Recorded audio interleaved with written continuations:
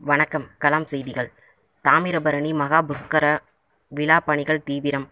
நெல்லை மாவட்டத்தில் செய்யப்பட்டுள்ள பாதுகாப்பு ஏற்பாடுகளை தென் மண்டல ஐஜி சண்முக ராஜேஸ்வரன் நேரில் ஆய்வு மேலும் சுகாதார பணிகள் மற்றும் பாதுகாப்பு ஏற்பாடுகளை அரசு செய்து தர வேண்டும் என தாமிரபரணி புஷ்கர அமைப்பாளர்கள் வேண்டுகோள். நூற்றி நாற்பத்தி நான்கு ஆண்டுகளுக்கு பின்னர் தாமிரபரணி மகா புஷ்கர விழா வரும் அக்டோபர் பதினொன்றாம் தேதி முதல் இருபத்தி நான்காம் தேதி வரை நடைபெற உள்ளது.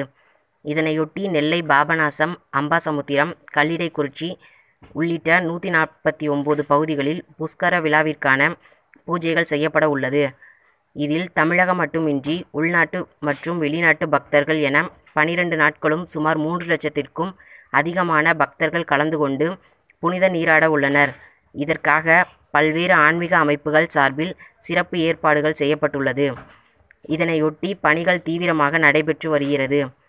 இந்த பணிகளை மேற்கொண்டு வரும் புஷ்கர பணிகளின் அமைப்பாளர்கள் கூறும்போது ஜாதி மதம் கடைந்து அனைவருக்குமான விழா இந்த விழாவில் அனைவரும் கலந்து கொண்டு பயன்பெற வேண்டும் என்று கூறிய அவர் அரசு பாதுகாப்பு ஏற்பாடுகள் மற்றும் சுகாதார ஏற்பாடுகளை செய்து தர வேண்டும் என வேண்டுகோள் விடுத்தனர்.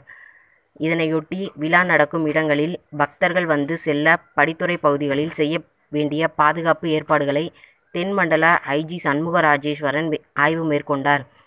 மாநகர் பகுதிக்குள் பொட்டல் அருகன்குளம் மணிமூர்த்தீஸ்வரம் வண்ணார்பேட்டை பேராட்சியம்மன் கோவில் படித்துறை உள்ளிட்ட பகுதிகளை நேரில் சென்று பார்வையிட்டு ஆய்வு செய்தார்.